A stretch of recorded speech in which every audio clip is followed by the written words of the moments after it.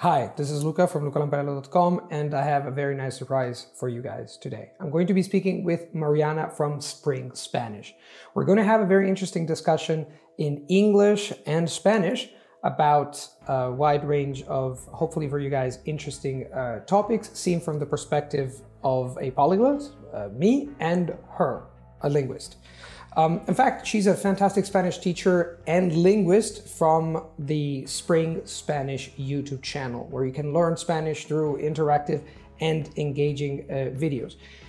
And these guys publish five weekly Spanish lessons every week. They propose a really interesting learning technique called chunking. Uh, you might want to check it out and subscribe. And while you're at it, check out part two of this collaboration video where you can hear me give tips about learning languages in English and in Spanish. So, without further ado, let's get started with part one. What's the best way to learn words and chunks? There are countless ways to learn vocabulary in a foreign language, but the most important thing you have to keep in mind is to stick to two key principles. The first one is learn words in context, use words in context. So, for example, it's very important to read a lot and listen a lot because in stories and in dialogues you can find how words fit in context. And the second important thing is that you have to review words in one way or another and you better do it in a fun way. So if you find yourself scribbling countless lists of uh, words in isolation and you find yourself desperate because you can't commit them to uh, long-term memory, and on top of that, it's boring, then think again and find a way to make it rewarding. There are countless ways, but you have to find the way that works for you. Totally. Never learn words in isolation. The best way to do it is by learning them in context. So, reading or listening Best way is to listen to a lot of, of um, conversations or dialogues between native speakers because that's when you'll go and say like, oh, so that's how you say it in English or Spanish or German or whatever language it is you're learning. The most important thing is that you learn them in context. And one way to do that is by using flashcard apps. And that's how we do it at Spring Spanish actually. So um, doing it regularly and like Lucas says, doing it in a, in a way that's fun for you is going is the best combination for you to learn language in a very natural and easy way. How to get started. ¿Cómo empezar? Uno, antes que nada, escribir un pequeño texto, una pequeña historia sobre por qué has querido, quieres aprender español. Tu por qué es más importante que tu cómo. Si sabes por qué estás haciendo una cosa, porque quieres hacer una cosa, encontrarás tu cómo. Segundo, establecer una fecha. Una vez que hayas establecido una fecha, estás haciendo una promesa a ti mismo y te estás diciendo, desde este día yo voy a hablar y aprender español cada día. Recuerda que eso es lo más importante, estudiar, aprender cada día durante un largo plazo, porque la verdad es que aprender el aprendizaje de un idioma toma un montón de tiempo. Tercero, invierta tiempo como para averiguar qué recursos necesitas. Un error muy común que comete mucha gente es de decirse, bueno, tenemos internet, voy a bajar todos los sitios, voy a comprar un montón de libros, voy a tomar un montón de recursos y después efectivamente tienen un montón de recursos y no saben dónde empezar. Un día utilizo esto, un día utilizo el otro. Para mí es muy importante en mi experiencia tomar, elegir un recurso, eh, entonces invertir tiempo como para averiguar si este curso corresponde a tus necesidades y utilizarlo durante un rato y después utilizar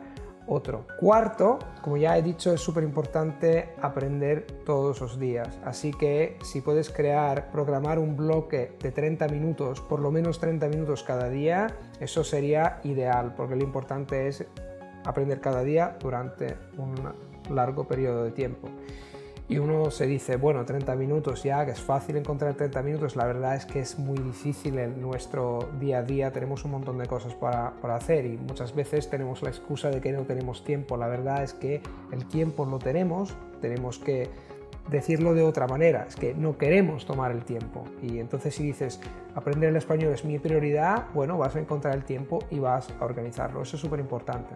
Y quinto, tienes que aceptar la idea de que no existe el método ideal para aprendizaje, para aprender los idiomas, en el aprendizaje de idiomas, existe el método ideal para ti. Y esto se encuentra siguiendo un percurso de, prueba y error. Tienes que probar, ver si funciona, descargar las cosas que no funcionan y aceptar, mejorar las cosas que funcionan. Porque una vez que hayas encontrado algo que te gusta y lo haces todos los días, después tendrás ganas de hacerlo más y más. Como dice Luca, lo primero es enfocarse en la razón por la que se está aprendiendo español y es importante que esa razón sea lo más específica posible. También ayuda a que te imagines hablando la lengua en diferentes contextos, porque eso te ayudará a enfocarte en las cosas que son relevantes o importantes en tu proceso de aprendizaje. Además de lo que comenta Luca, puedes dividir tu tiempo de estudio en estudio focalizado e inmersión casual. En el estudio focalizado, digamos que es un aprendizaje tradicional en el que nos sentamos a estudiar, estudiar como lo entendemos, estudiar una lengua. Mientras que en la exposición o inmersión casual, nos divertimos aprendiendo la lengua, sea escuchando podcasts, música, viendo una película, viendo una serie, leyendo un libro. Lo importante es pasarla bien mientras nadamos en el idioma. How to find motivation and stay consistent. In Italian, we say l'appetito viene mangiando. That means appetite comes from eating. And I think that is particularly true uh, when it comes to uh, learning a language. I think we have the concept of motivation backward for a number of reasons. The first thing, if you are really motivated to learn a language, you must have your internal why. It's not just some random guy said that Spanish is cool and you started to learn Spanish. You have to know exactly why. Maybe you've gone to the country, maybe you've met a person.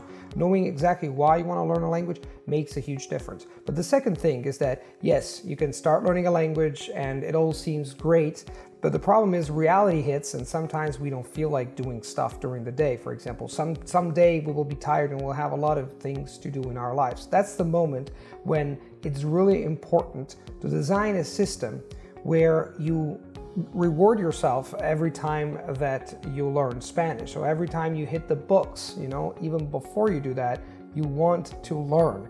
And that happens when you're doing stuff that is interesting.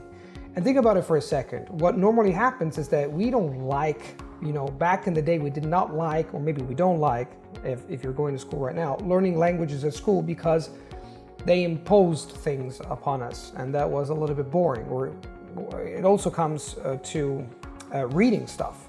We used to uh, read and learn languages and do things we did not want to do. But if you find stuff that is interesting, that is comprehensible, that stimulates you, that rewards you, that drives you, that compels you, then things are going to be different. You're going to wake up in the morning wanting to learn. So make sure that you design a system where you get a reward, you get enjoyment, you are going to learn and like every moment of the process because that is how you're going to feel motivated for a long run.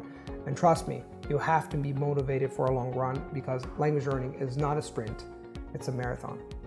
On top of what Lucas says, um, make sure that the language learning is as useful as it can be in your everyday life. So you can either be planning a trip to a Spanish speaking country like Mexico, for instance, or you can have friends who speak the language. The point is that you make sure that the language is used in, in a way somehow in your daily activities uh, you have to make it necessary in a way. Um, so you can either just stick to, you know, taking a lesson um, every day or listening to something um, like Lucas says, something fun uh, or reading something short for 10 minutes. The point is that you make it necessary and that you stick to that um, every single day. Where to find people to practice with? ¿Dónde encontrar gente para practicar? La verdad es que Internet lo ha cambiado todo. Ahora ponemos, por ejemplo, poner en Google um, compañero de aprendizaje español y vas a encontrar una tonelada y toneladas de sitios donde puedes encontrar a gente. Entonces, encontrar a una persona, especialmente en el caso del español, que es un idioma muy popular en el mundo, no es difícil. Lo difícil es más para mí encontrar a alguien con el cual te lleves bien. Esto es lo más importante, lo más relevante, porque para mí lo más importante es comunicarse con los demás. No es una cuestión de hacer, estudiar verbos con ellos, es una cuestión de, verbos o de gramática o de otras cosas, es una cuestión de comunicarse sobre cosas que nos, que, que nos interesa, compartir historias, compartir experiencias, compartir momentos. Así que es muy relevante, sobre todo si, por ejemplo, te vas a esos sitios donde puedes encontrar a gente, de invertir un poco de tiempo en construir un perfil que pueda atraer a los demás y invertir un poco de tiempo como para enviar mensajes para encontrar a una persona que te guste. Es súper importante escribir mensajes que sean personales, no son, sabes, eh, siempre de copiar y pegar, escribir el mismo mensaje a todo el mundo. Tienes que echar un vistazo a su perfil como para ver qué le gusta y encontrar a lo mejor un pequeño detalle, ¿no? A, no, sé, a lo mejor le gusta algo de Italia y decir, ah, te gusta algo de Italia eh, y esto capta su atención. Así que es súper importante invertir tiempo como para encontrar a alguien que te guste, con el cual te lleves bien, porque una vez que lo hayas encontrado, bingo, ¿no? Te lo vas a pasar muy bien. Si no tienes con quién practicar en tu entorno inmediato, las opciones más sencillas pueden ser cultivar amistades que hablen la lengua.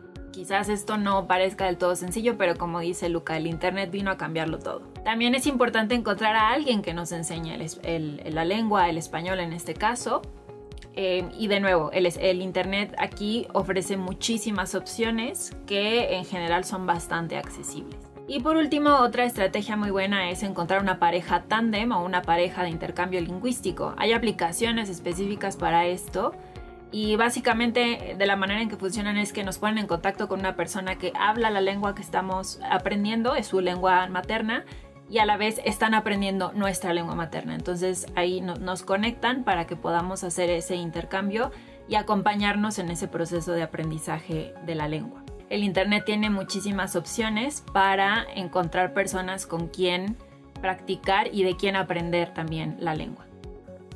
How to get to a really high level. ¿Cómo llegar a un nivel más alto?